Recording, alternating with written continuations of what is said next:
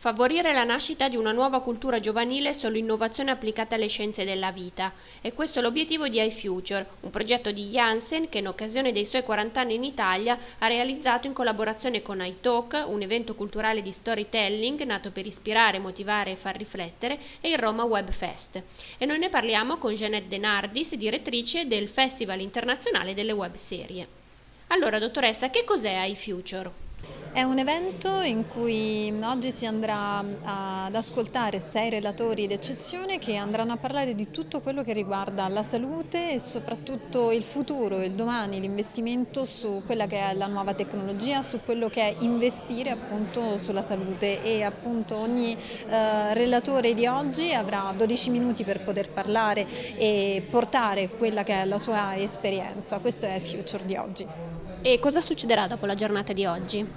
Dopo la giornata di oggi avremo appunto tutto lo svolgimento di quello che è il concorso, il concorso per bando di concorso per realizzare una web serie che abbia in sé tutti quelli che sono i valori della Janssen, quindi oggi appunto al termine del,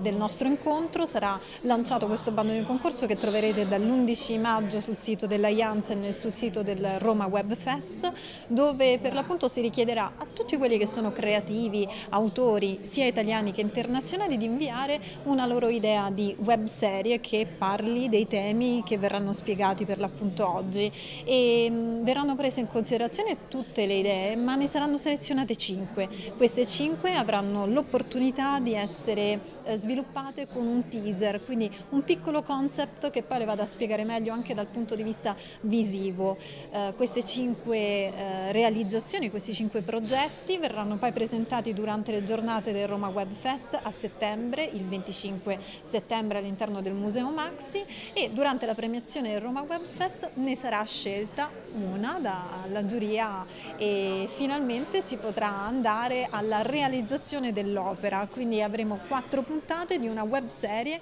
che avrà in sé i valori di cui parleremo oggi.